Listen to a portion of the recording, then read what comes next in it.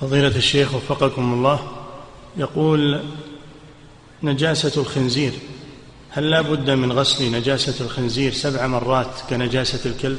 أشد الخنزير أنجس من الكلب.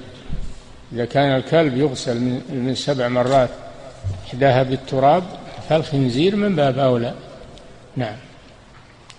الكلب والخنزير والذئب وسائر السباع كلها تسمى كلاب. نعم. المكتبة الصوتية لمعالي الشيخ صالح بن فوزان الفوزان حفظه الله.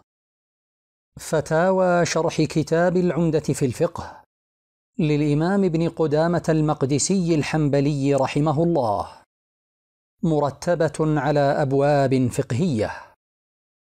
إعداد مشروع كبار العلماء بالكويت أعزها الله بالتوحيد والسنة.